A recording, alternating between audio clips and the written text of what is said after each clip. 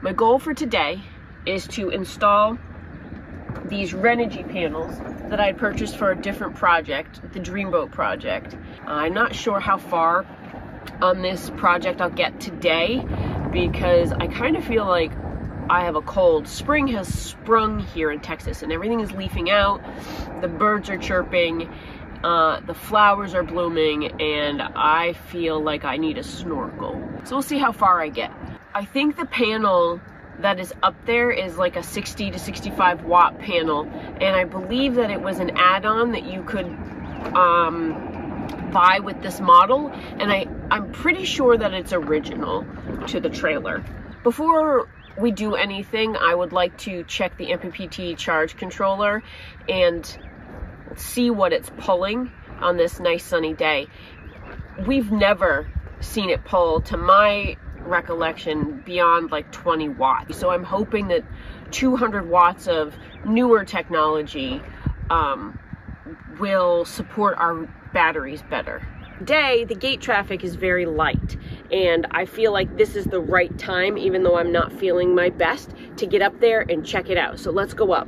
Normally, um, when I gate guard or I'm on the gate or I'm outside near the gate, I don't wear sandals, um, but I'm going to today so I can kick out I don't like to wear shoes on the roof of the trailer. Maybe it's not working so well because we've never really taken the time to fully clean it. I brought something for you. Oh, look at the flirt on you. Oh. Don't don't fall off the roof trying to get to it. oh. Rooftop coffee. A couple sips, then you have to get back to work. I'm gonna dig at this a little bit with a putty knife. See if I can expose the fastener. Well, this is interesting. I don't see anything in this hole. Do you think it's just glued? I don't know. I might find something in there further down, but for right now, this doesn't actually look to be having any sort of rivet head or screw head in it. I guess I won't know until I get into the other feet. We were worried we were going to leave holes behind from one panel solar panel configuration to a new solar panel configuration.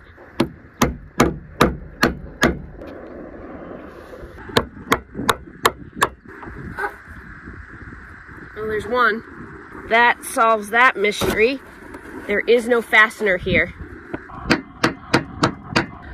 Did the scope of this project just get a lot easier? Do I have to re, like, put holes in the trailer? If this has been in here or up here mounted like this since 2006, I don't know. That'd be a lot easier. Number two is off. No fasteners, Andrew. Awesome. So that's two down, two to go? Yeah, and I'm wondering, can we replicate this in, in any way so that we don't have to put holes in the roof? I think the main thing is get the roof clean enough that the um, sealant will seal. Okay. One of the questions I have is if they ask us to leave this gate area tomorrow, the sealant yeah. may not be cured enough to hold them to the roof. I don't know. That's a calculated risk we may have to take. Onward. Well, she's up here disconnecting the last two. I'm going to go check to see what the full cure time on the Sikaflex is.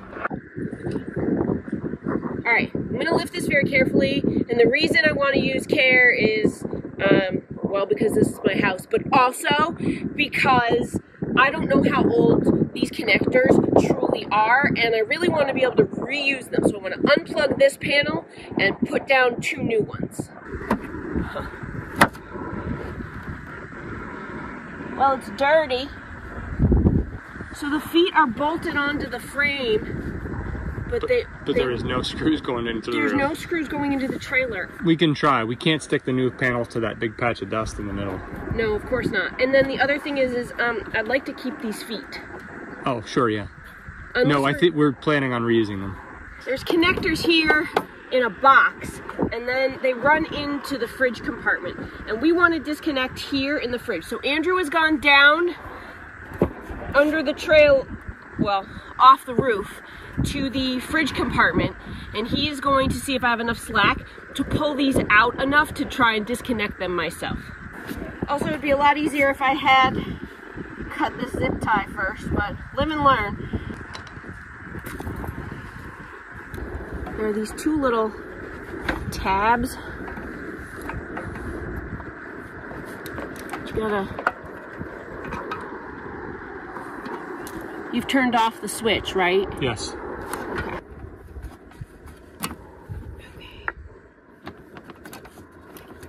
One.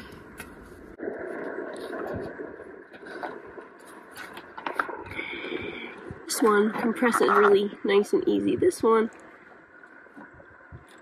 doesn't want to go. See if Andrew's hands.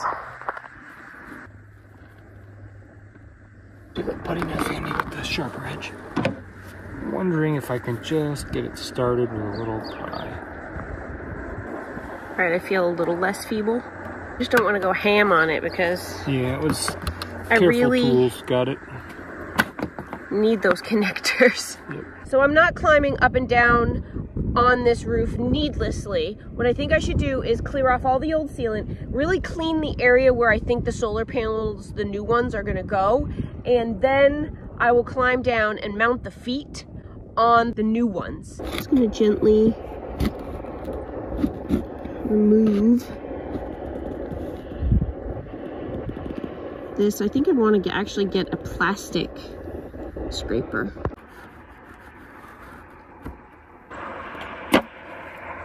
This isn't my scraper. No, I, I have a, narrow blue. I didn't, I didn't see it. I'm hoping you can make do with that one. There's a little, little privacy wall here, so I can't see what you're doing. what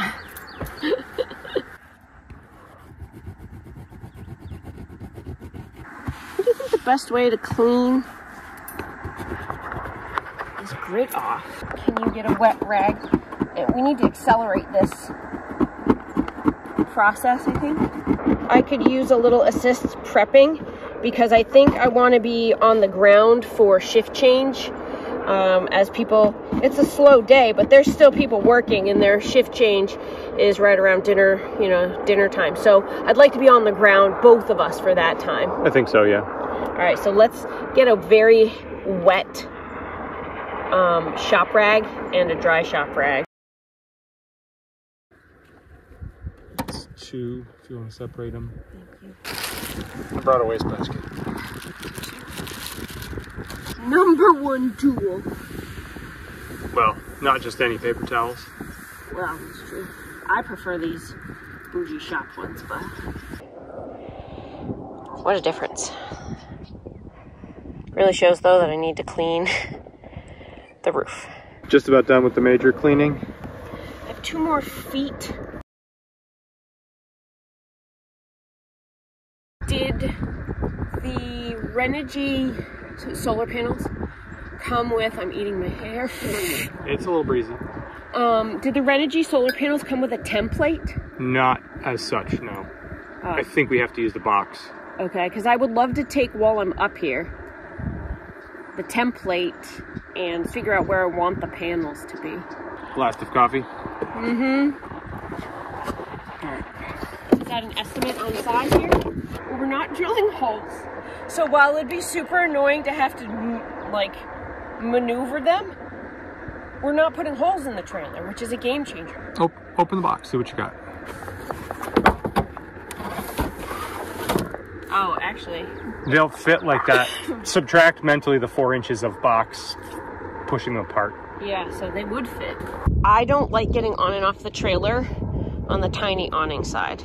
I have the awning barrel roller to rest my feet against. I have the awning arm to sort of stabilize myself as I like fling my leg over.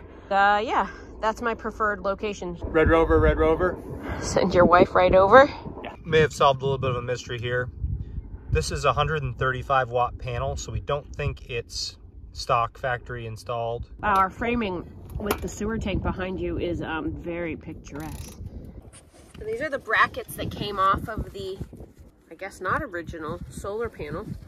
I want to clean them up and see if I can salvage and reuse them. So I'm going to scrape off the sticky and use denatured alcohol.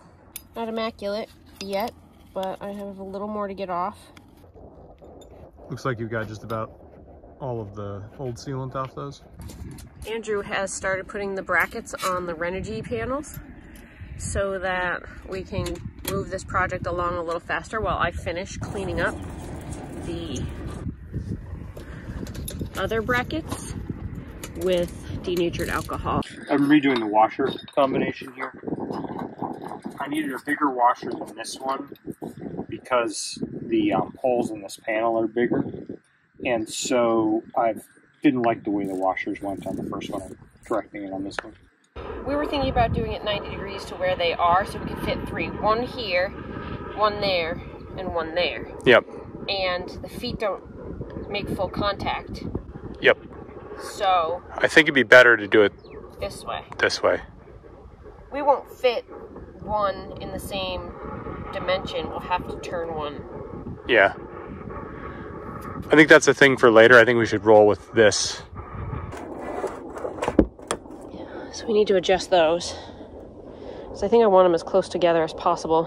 While you redo these brackets, I think I'm gonna go take a shower and get the dirt off of me. Okay, that makes sense. A shift change for the rig. I can handle this groundwork um, and watch the gate. We can't be on the roof. I'm glad you're up early. I need to talk to you about something. Actually, it's two things. Chuck, I'll be right back. Um, okay, go ahead and take that sip because you're going to want to hear this. Okay. So the rumor is they may have us finish up with the crew that's finishing today.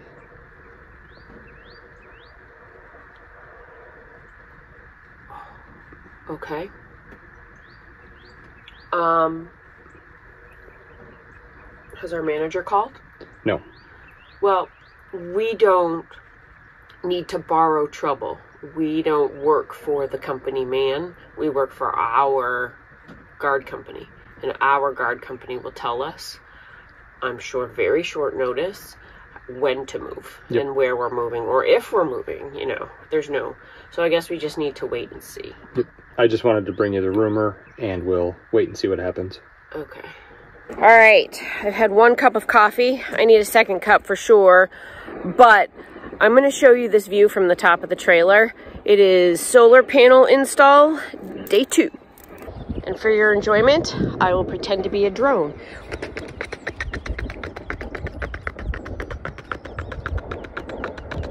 Side by side, this is the orientation that we are considering what I need to do before I get, I don't know, sorry about the wind guys, I'm on the roof and it's Texas, so the wind is blowing, look at the hair. But what I can say is I need to disconnect and loosen where the wires are zip tied to the underside of the panel before I lose access. So I'm gonna do that right now. If for some reason my gate ends, I need to have these secured enough. It does take seven days for the sealant to fully seal. We could be moving this afternoon or even tomorrow or anytime. I've loosened up the connectors now so they're loose and free and we will connect them and run them through the fridge vent at a later time. Right now I need to figure out exactly where I want these panels to go. I need to high bond sticky tape each foot and then I need to um, use denatured alcohol and give everything a final swipe before I try and stick it down. And then I'm going to gob on the sealant just like it was before. We are going to hope that that does the trick.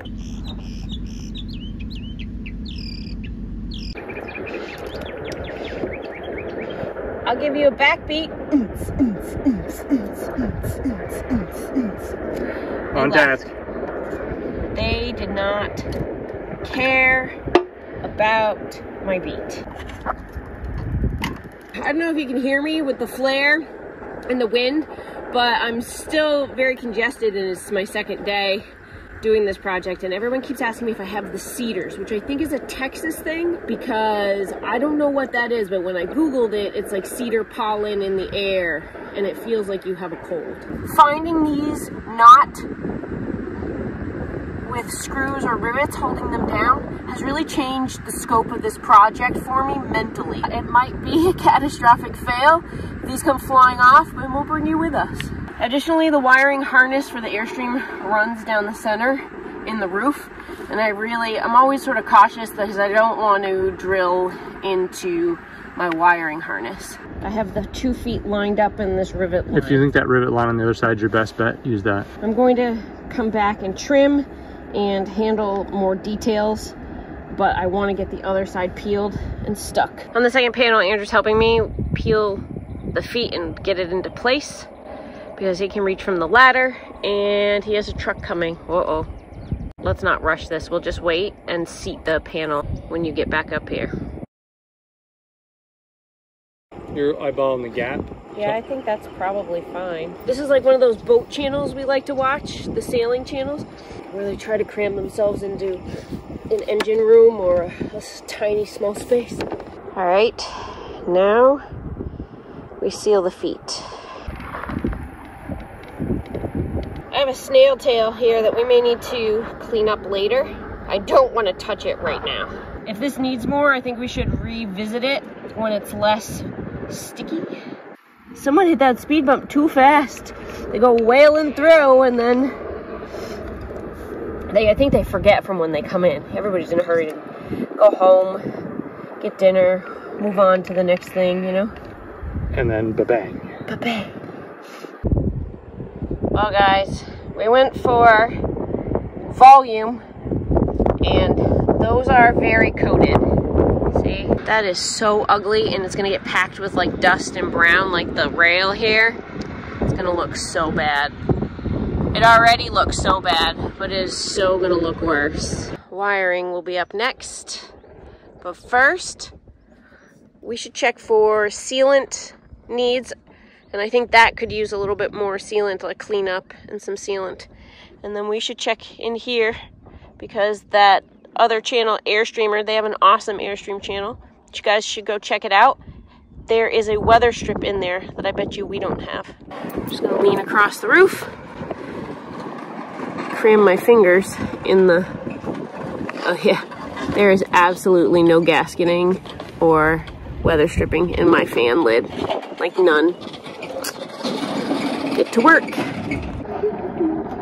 I found this coffee. Someone abandoned it wasn't abandoned. I earned the privilege of my second cup of caffeine. I don't oh. think it's hot anymore. All right, now that I've had a single cup of coffee, I'm on my second one. I've gotten some of my work done. What was the second thing you wanted to talk to me about? Work camping. We are work camping. Right. Um, it's going to be 110 here in the summer. Do you want to work camp here? Um, I want to make the money that making. So there might be options for us to make comparable money to what we're making now. We're camping somewhere else that is not as hot. Oh. Okay. What did we learn?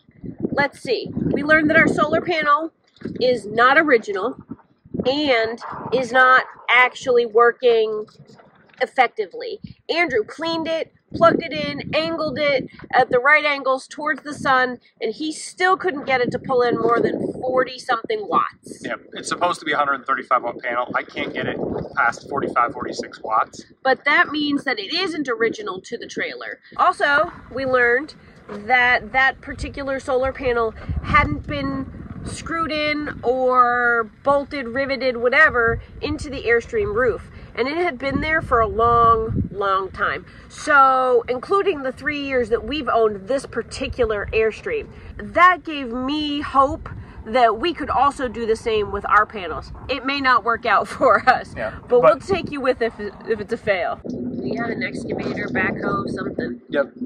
Yep. Heavy equipment. I'm like a little kid. I love watching construction vehicles. Yeah, you got to see the crane go through earlier. It was great from the roof. I had a great view. Every time we film, the wind picks up.